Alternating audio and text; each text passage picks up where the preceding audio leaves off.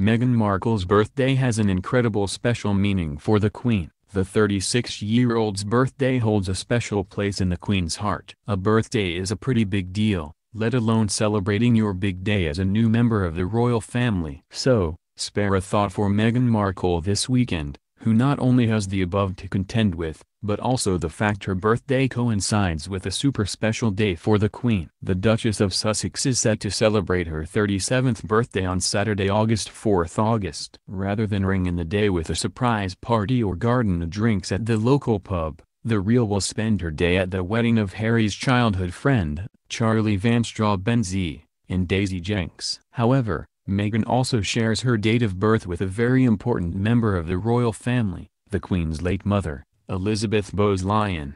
The Queen Mother, who passed away in March 2002, was born on the same day as Meghan in 1900. This year would have marked her 118th birthday. Last year, the former Suits star celebrated her birthday on an African safari with Prince Harry, but this time will have to share her special day with her beau's best friend.